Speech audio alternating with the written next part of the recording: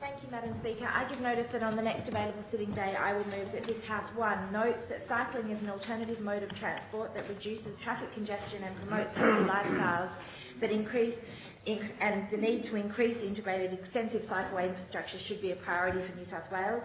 Two, recognises the benefits that active transport has on creating and maintaining sustainable, livable and strong cities and communities. And three, calls on the government to actively encourage cycling by addressing safety issues through innovative and forward-thinking policies rather than implementing harsh punitive measures.